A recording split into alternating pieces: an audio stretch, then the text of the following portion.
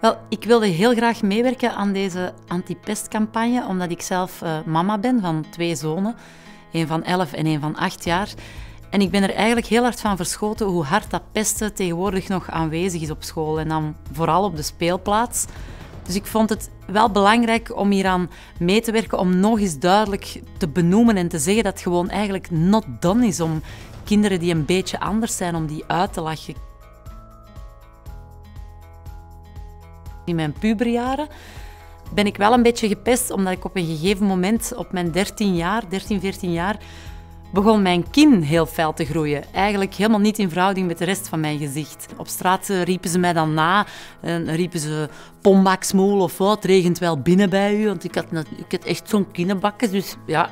Nu, ik heb mij dan nooit echt heel erg hard aangetrokken. Ik had zoiets van, oké, dan moet ik het niet van mijn uiterlijk hebben. En dan ben ik eigenlijk zo humor als wapen gaan gebruiken. Ik werd daardoor verbaal erg sterk.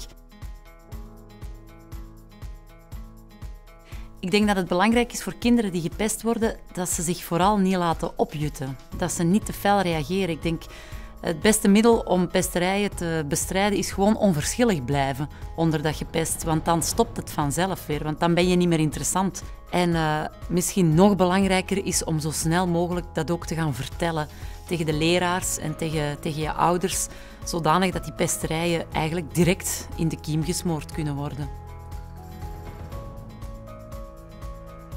Probeer je niet, uh, niet op te winnen of niet terug te roepen tegen, tegen de kinderen die je pesten. Kijk gewoon naar die pesters. Kijk heel onverschillig en een beetje boos uh, als ze iets stout gezegd hebben en zeg dan gewoon terug: Tja, heeft er hier nu een vogel op mijn kop gekakt? En loop dan weg.